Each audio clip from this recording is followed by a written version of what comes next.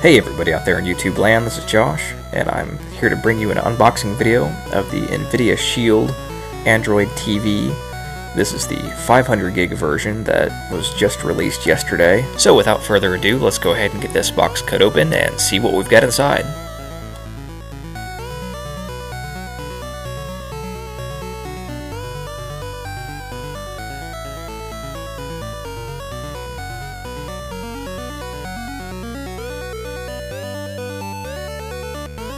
Alright, now that we've got it out of the packaging, you can see that the box itself is pretty much the same as the uh, box for the 16 gig version.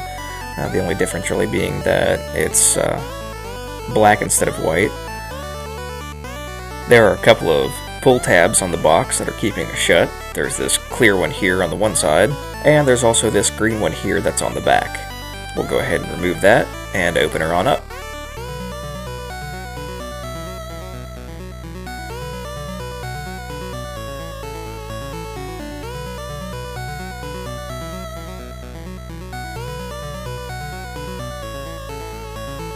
Alright, here it is, the Shield Android TV unit itself.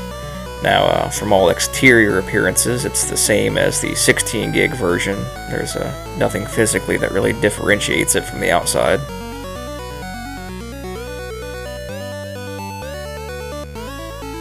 Let's go ahead and take a look at the rest of the contents of the box. First up, we have the controller.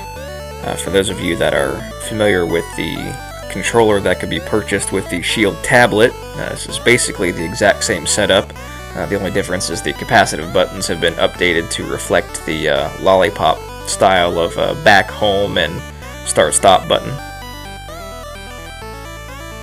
Next up, we've got the standard quick start and product information guides